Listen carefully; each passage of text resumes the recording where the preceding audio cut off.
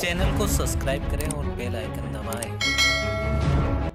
Shajapur railway station पर मचा हड़कंप जब शाजापुर स्वास्थ्य विभाग का अमला रेलवे स्टेशन पर पहुँचा जी हाँ, बता दें कि विशेष दस्ते के रूप में ट्रेन और रेलवे स्टेशन के यात्री दोनों ही घबरा गए थे प्राथमिक चिकित्सा कर एक व्यक्ति विशेष को ट्रेन से जब उतारा तो मालूम पड़ा कि वह कोरोना वायरस का पीड़ित है। डॉक्टरों के द्वारा प्राथमिक चिकित्सा कर एंबुलेंस से उसे साजापुर ट्रामा सेंटर ले जाया गया और उसका इलाज किया जा रहा है।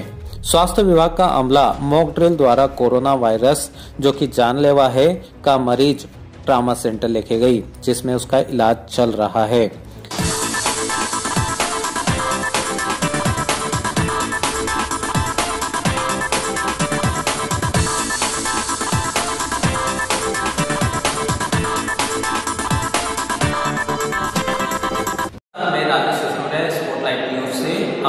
में रेलवे स्टेशन से एक कोरोना वायरस का पीड़ित व्यक्ति को मॉक ड्रिल के द्वारा पकड़ा गया है। जानते हैं कि सर से कि इसकी क्या पहचान करके उन्हें पकड़ा। सर क्या गुण होते कोरोना वायरस के मरीज़ कोरोना वायरस के जो रोगी हैं उसमें सामान्य इन्फ्लुएंजा के सर्दी जुकाम बुखार थकना थकान ये मुख्य लक्षण है। और इसमें हमें राज्य शासन से निर्देश मिले हैं जिला चिकित्सालय के स्तर पर की गई तैयारियाँ और उनकी तत्परता कि एक मॉक की जाए। मॉक का अर्थ होता है कि अगर वास्तविक रोगी आया तो इस प्रकार से हमारा प्रशासन उसका मुकाबला करे। इसके लिए हमने आज बारह बजे से बारह बजे अट्ठाईस मिनट तक, आधे घंटे तक एक रोगी और अपने पूरे स्टाफ के साथ रेलवे स्टेशन से उस रोगी को लिया और यहाँ पूरी सुरक्षा के साथ समाज से उसको बचाते हुए भीड़ से जिला चिकित्सालय में बनाए हुए आइसोलेशन वार्ड में लाए। वहाँ पर उसके नमूनों की जाँच करने की पूरी व्यवस्था सर जानना चाहेंगे कि कोरोना जो वायरस का ये जो रोग है ये किस प्रकार से फैल रहा है क्या कोरोना वायरस इसकी शुरुआत चाइना में वुहान प्रांत से हुई।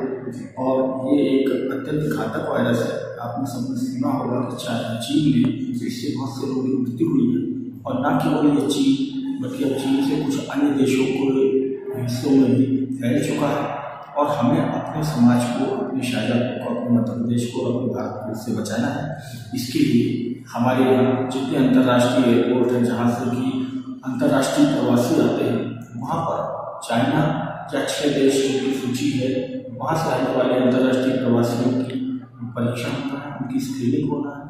और यदि वो संभावित हैं लक्षणों में तो उनको आइसोलेशन में रखना है। और उनको चौदह दिनों तक क्वारंटीन में रख के एक तरह का एकांतवास होगा, जो कि शहर से थोड़ा दूर होगा, जहाँ पर सामान्य जनों में इस रोग को फैलने से रोका जाए, इसकी व्यवस्था। तो डॉक्टर साहब ने बताया है कि जितने भी शहरवासी हैं, अगर वो बाहर जाते हैं या बाहर से आते हैं तो कम से कम अपने स्वास्थ्य का ध्यान रखें।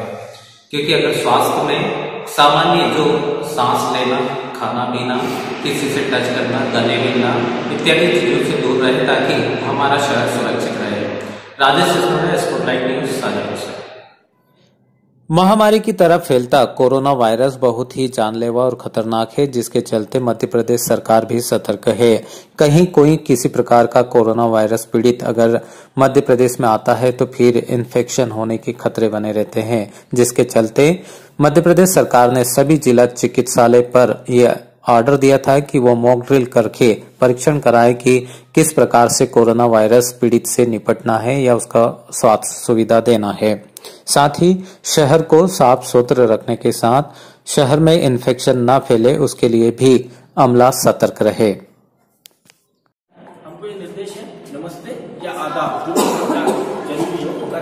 और संभावित रोगी से छह फुट की दूरी बनाए रखें। नंबर तीन उसके संपर्क में आने वाले लोगों को जिस प्रकार से इनको सुरक्षित किया गया है उनको सुरक्षित रहना है। बाकी उसके परिवारजनों को इस प्रकार का ट्रिपल लेयर साधारण मास्क देंगे। जो रोगी होगा, उसको एन डी फाइव मास्क जैसा इन्होंने पहन रखा वैसा पहनेंगे, ताकि उसका